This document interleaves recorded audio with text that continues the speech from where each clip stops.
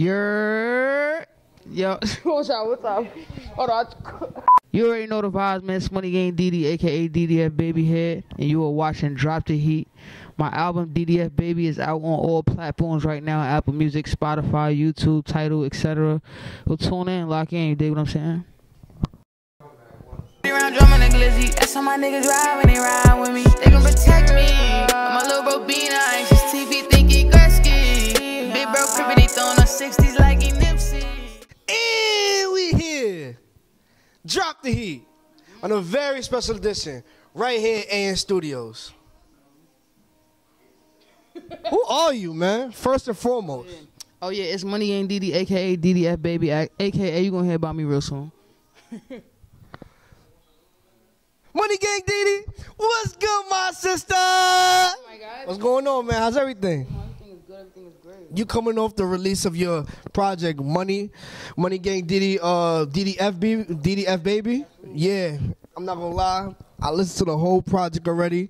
Out of 10, I give that shit a solid nine and a half, almost a 10, bro. You know why? Yeah, I you know why I give it that? Because I love that lane in music. I love, I love the, I love the, bro. You, your music is fire. Like a lot of people when they listen to your music, they be like, "Yo, who's this?" And I gotta put, I gotta put niggas onto you all the time. I, I noticed that the Shazams is up right now. The Shazam, the shit show me on my Apple Music shit. The Shazams is up. That means people hearing it and be like, oh, who this? Pull out their phone. So I appreciate that, bro. You know, I put, I put work in this shit. Real quick, tell them who Money Gang Diddy is. Like, where you from? Why you started this? Give them a, a quick background on who you are. Wow. Um, yeah, money ain't Diddy. it's gonna take a while though, cause I've been doing this for a long time, bro. I ain't gonna lie. You feel me? I'm from Mount Vernon, New York. That's like, you know, a lot of people don't know about that town. They be like, "Where's that? Is that upstate?" No, it's not. It's basically uptown, damn near. And some of our legends include Heavy D, Diddy moved out here as a kid and was raised out here. Denzel Washington, you know, those are just a, those are just a few to say the least. Me myself, and a few up and coming artists like you know what I'm saying legendary. Um, when I start doing music, I say I started like first going to the studio probably in like ninth grade.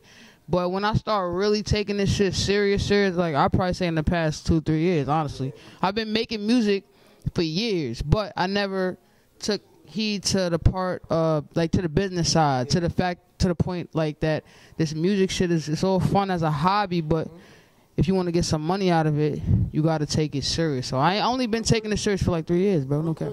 I've been seeing, yeah. I'm not gonna lie. I feel like you have music that's on your SoundCloud that's even older than three years. I'm not gonna lie, and I've heard that type of stuff to see the way your sound has changed over time, and it has. Can I ask you why you change that sound? Every every time is that what artists do all the time, or do you change your sound because people are taking your sound? Nah, That's part of it. We're gonna get to that, but I, I think that um me what, what separates me from other artists was I was broke when I started doing music. Like when I started like really doing it, and I used to just record myself. So that's how I was able to put out so much music on SoundCloud. You feel me? I was in the crib every day recording myself, recording like giving out studio time for other artists, and my sound just developed that way because my my like my preference in music to listen to is so is so wide. It's like I like so many different types of musics. At one point, I was just rapping and being afraid to use the melodic side because of the whole New York stigma, and being afraid to not sound like I'm to sound like I'm like to not sound like I'm from New York. Like you know what I'm saying. But I always been a little singing ass kid, like literally singing. People who tell me go to American Idol, shit like that. So that's why my sound really changed because I start really just showing who I am, like melodically. This type of music I'm inspired by is, is like R&B shit. I listen to a lot of R&B music, bro. I barely listen to like rap shit. Like I don't really listen to music if it ain't melodic. You feel me? But I used to be opposite of that. I used to be on my straight lyrical shit, like literally bars, like like real, real bars, like you know what I'm saying. So I think that's why my sound changed. And niggas definitely took my sound so many times. You know what I'm saying? A lot of niggas, some niggas just keep it a thousand and say, "Yo, my fault. I was inspired by you," and I respect them niggas and still fuck with them niggas to this to this day. But that also forces you to want to be more, you know, creative with your music. Diverse. Yeah, you feel me? Instead of because like I I probably should stick to my sound if I did it first, but I just don't want to sound want nobody sounding like me, bro. So I try to, you know, I try to be different, but it's getting hard now. The music game getting saturated. Everybody named mom jumping in this shit, putting auto tune on and just saying whatever. But I was doing auto tune when it was getting hated on. Like I used to get hated on for doing auto tune. You feel me? Because it wasn't a New York thing, bro. It wasn't like popping. Like niggas used to violate me, like you know what I'm saying, literally. And now look at the temperature. That's why I named my project DDF Baby. I feel like I'm Lil Wayne in my city, bro. Because when Lil Wayne first started, Wayne first started that shit, though, you gotta remember, they was violating Wayne at first. Yeah. You feel me? And Talk your shit. same with me though. They was violating me, but now if you look at the temperature out here, all the artists that came after me, I kind of set the tone for that. You feel me? Yeah. Like literally. So that's why I call my project what I called it. And I feel like I just been being humble for too long. Like this, like this year, I cut that humble shit all the way out. Fuck all that. Like that shit don't get you nowhere. Showing a lot of everybody is cool, but. That shit don't really get you nowhere. You gotta really, you know what I'm saying? I'm a Leo. You gotta really let these niggas know what time it is, bro. Nobody's gonna give you the praises before you give it to yourself. Nobody's gonna believe in you like you believe in yourself. So that's why I named it that. And it's my first project without no YouTube beats. So I feel like it's my out. That's a big accomplishment. I'm not gonna lie. That's a, bro. This is a solid. You don't understand. I think it's called Raymond Reddington. Yo, that shit right. That shit right there is a banger. You have a lot of bangers on that on that album, man. Do you sit down? Do you sit down and your writing process? Do you like smoke? Do you what do you do so you can make all of these all of these hits? I gotta have weed. I can't even record. Like if I don't got weed, I'm canceling the session. That's a fact. If my weed man not answering, I gotta cancel because music is therapy to me. I get to come in here and forget about everything that's going on outside of this shit. So when I'm in it, it's not always like I'm just trying to make a fire like a hit or something. A lot of times I'm just trying to get some shit off my chest. I done sat in front of the mic and cried making my song sometimes. You feel me? You know, so it's like I gotta have weed. I don't sit down and write most of the time. Ninety five percent of my music is whatever I'm feeling at the time. I just put the mic on and we go punch it in ball for bar. That's something Wayne taught us. You feel me? We got that from Lil Wayne. You feel me? At the end of the day, that's my, one of my biggest inspirations. So I, felt love Wayne. I love watched Wayne, bro. I'm not gonna lie. interviews saying he don't really write. He just go in there and made me want to try it. So I tried doing that and realized like writing sometimes hold us back a little bit from creativeness. You know, you know, my fault for interrupting you. You know, when I was, well, I remember, I know what interview you're talking about. I was, I think I was 13 years old, 14 years old when I seen the interview when Wayne said he didn't write. I'm not gonna lie, I didn't believe him, bro. I couldn't believe him. He's a, he was just so lyrical. But then I, I looked up the YouTube videos of Wayne's studio sessions and shit. Him just sipping lean, doing the, and I'm just like, yo, this is really like a skill that a human could develop over time if you're doing this over time. Like, you feel me? If you're in the studio for a long enough time, the pen eventually goes down. I've noticed that. I've seen it throughout the whole New York, throughout a lot of people doing it. And also, um, I feel like we thought Wayne meant he was freestyling the whole song at once. Like that's what we thought when people would say they yeah, freestyle, yeah, yeah. write. But that's not the case always. I mean, maybe a nigga like Jay Z was doing that, but like it's not the case, bro. You sit there, you piece it together. You might say four bars in your head, go rap that I. You might add more. You might mumble some shit. You might like the melody. You want to fix the words. You might like the words. You want to fix the melody. But a paper and a pen, sometimes it just.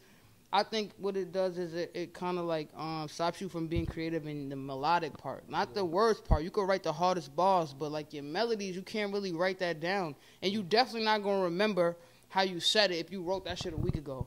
You know what I'm saying? I just I just didn't like that. I ain't like writing a song and then I gotta wait four days to get studio time. By that time, I'm not in that vibe no more. I don't remember how I said it, how I, what melody I use, You know, so it's just better coming fresh off the. And I might not be in that mood no more. What if I wrote a song about a relationship or something, and now I'm in, it, and I, my girl just broke up with me. I want to talk about that. It'd be like that, yeah. It's I, I mean that's life. Like sometimes a girl hit me up, I'll be I'll be in the mood. She'll hit me up three hours later. I don't even want to talk to you no more. Like feel me? That's the best part of not writing ahead of time. Whatever you feeling when you in that bitch, that's what's gonna come out. You feel me? Like no cap. I like that. I like that, bro. How's um real quick? How's everything? How's everything with um? I know we're doing this interview around um, COVID time. How's her family doing? How's everybody doing with this situation that's going on in New York City right now? I ain't gonna lie, my family is extremely blessed. None of us have gotten sick. We're all safe, but we've been taking the precautions, you know, the way we should be. But everyone is good. You know, a lot of my friends though they lost a lot, they lost a lot of family members and people, but. My family, I'm just, you know, I'm happy, bro. We blessed, we good. I was just telling my girl this the other day, like we really survived this shit. A lot of niggas ain't make it, bro. No cap. A lot of people ain't make it, bro. This shit is bad. I'm doing good though. That's a fact. That's a fact, bro. Before we get out of here, I, want, I mean, before we go on um on break, cause we're gonna go on break real quick. We're gonna play Money Gang Diddy Smile video. That should go hard. That should go crazy. One of my favorite songs of DDF Baby. I need to ask you a question, bro. When you first, when you first like meet certain artists, what's the vibe? because I'm not gonna lie to you. Everybody has a different vibe when they meet artists. It's like, oh, it's just it's straight love, or it's I I could I'm gonna see how this nigga is before I step in the booth for him. Like, what's what's how do you decide who to make music with? Is that's the final question? Yeah, that's always important to me. It's really do I just make music with niggas just because they nice? Like, I definitely got to feel your energy and feel your vibe because I don't want to be in the space with a nigga if our energy don't mix. So that's most important to me. Like, you know what I'm saying? Fucking with the individual, fucking with the person. Yeah. You know what I'm saying? I think that would be it. And then if you taking music serious, like if you don't take music serious, I don't care if you got one good song that's fire. That don't really mean nothing to me. I'm not wasting my verses on Yeah. bullshit songs. So if I see a nigga taking it serious, he seemed like a solid dude. He got good energy. We got similar interests. Yeah, that's that's that's what it takes for me to want to lock in with an artist. Yo, bro, I'm a supporter. You've won me over as a fan. I'm gonna be honest with you. I fuck with you, OD Diddy. It's about to go go crazy. we gonna take a break real quick. We're gonna show them what I'm talking about, alright? Yo, Money Gang Diddy, Smile Video is off the Diddy F Baby album. This is Will Gates and Studios. I'm right here. Turn me up records. We're gonna be right back.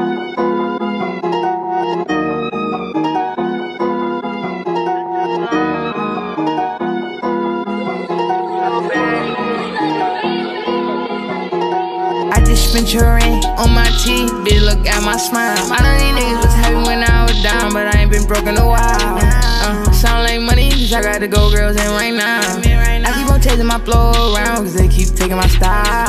Gotta admit it, money gang set the tone, this whole sound I own. I've been doing this shit for too long, been sounding like I'm on. And I feel bad for any nigga that ever did me wrong, cause I swear to God, I'ma hurt their feelings, and that's with every song. And we back. Right here on Drop the Heat. And Studios, your boy Will Gates. Money Gang Diddy to the left of me. You already know what's going on. Diddy F Baby on all platforms. Real quick, I got a question for you. I got a question for you, Diddy. What do you see yourself in the next five years, bro?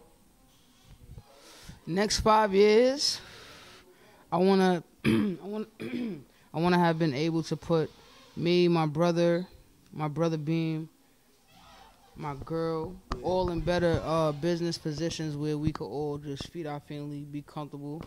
You know, that's what I'm working on now. Like when I be having these meetings with these label people and these So you've had meetings before. You've had meetings with labels already. yeah, I don't want to say I'm in the, the offices with the CEOs, but you know, it's many different departments and Yeah. people that work in a label, for a label, or something like that. Many steps, just baby steps, man. So I've been, you know, talking to a lot of business people. Whenever I'm in there, I'm talking about us. I'm telling them about the artists we have, the producers we have, photographers we have, videographers we have, clothing people who do like clothing, graphic artists. I'm telling them about us as a team. Like, forget signing one person, you get a empire with us. Like, you feel me? That's what I be on. Like, I don't be I don't be in these offices trying to just be like, yo, just sign Money Gang DD. Like, that's not what I'm on. It's a thousand million artists. So, you know, that's that's really my goal, just to be able to uh, put all of us in a better position and just take care of our families and win, like as a team. Cause all of all of us is like the Power Rangers, and then you know they come together. They built that one big monster, whatever you want to call it. Like that's what it is with us. Why do it all separate when everything we do go hand in hand? You know what I'm saying? Like the music go with the fashion, the fashion music go with the photography and everything else. So that's what we want. All right, no problem. Yo, talk about talk about Quentin Gilmore real quick, man. He's been on he's been on Drop the Heat. Shout out my boy Quentin Gilmore. He's wilding, been wilding with the you feel me? And the rapping, he's going crazy. Talk about. I know that's your brother right there.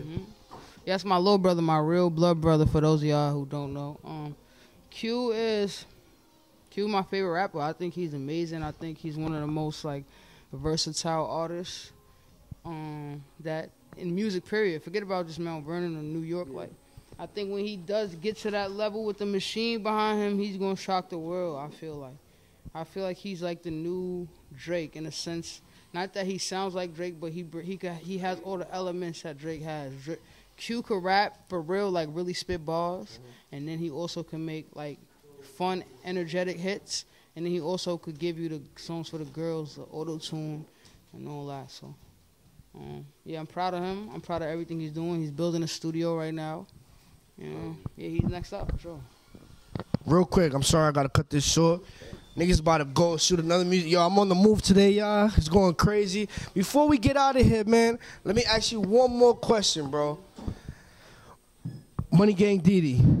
are you gonna make that like a brand one day where everybody's gonna like buy your clothes, buy your buy your merchandise? And that whole that whole brand, Money Gang Diddy, it needs to be something bigger than just you. I ain't gonna lie. It's gonna be a lot. It's gonna be a documentary and everything based off of that, based off of the name where it comes from. You know, as you see, I don't have a group called Money Gang, like, but I was in a group called Money Gang. So we gonna make it big. I might change my name to DDF Baby. I don't know. You feel me? Like I, I might. Brand, I'm gonna brand it all. I'm a walking brand. You feel me? Let's do it. Somebody come stamp me. Somebody come sponsor me. We need some sponsorships over here. Hey yo, hey yo, we about to get out of here. Stream money, Money Gang DD, DDF baby, all all streaming platforms. You feel me? Go see Smile, go see Nightmares, all the music videos on all streaming platforms. Money Gang Diddy to the left of me. Anything you want to say before you get out of here? Oh yeah, let me say first of all, fuck you, cause you just curved me on the dap. Feel me? Number one, I just tried to dab my son up. He just dubbed me, passed me the mic like a soul business. nah, I fuck with you, I fuck with you. So love. Um, what I want to say is. Oh yeah, what video you ain't telling them to go watch is me and Q song SMD. If you hating on me and the guys, SMD. That's all I'm gonna say. Check that video out. Money Gang DD, I appreciate this, sis. I holla at you. Easy. Around drumming and glizzy. That's how my niggas ride when they ride with me. They gon' protect me. I'm a little bro TV Gretzky. Big bro on 60s like he never.